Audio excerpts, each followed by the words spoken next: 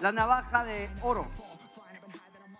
Estamos ahorita eh, confirmando una noticia que espero sea una noticia eh, conocida como fake news que se está empezando a viralizar en el sentido de que en la cuenta de nuestra compañera Iraíz Andrade, una persona escribe diciendo que es amiga de ella y en donde está narrando algo que debo confirmar y que me tiene en shock.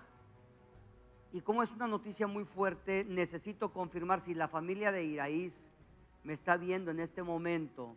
Les pido por favor que me contacten a través de mi red social o a través de la producción inmediatamente.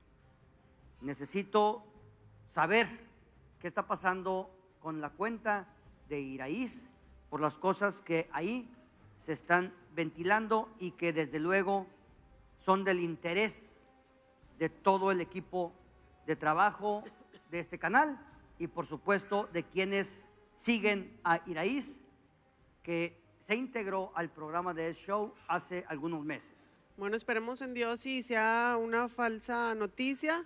Así es. este, ojalá y, y solamente eso sea porque la verdad sí estamos en shock. Así es, vamos a continuar nosotros con la navaja de oro y estamos listos. Ahora sí, señoras y señores, les vamos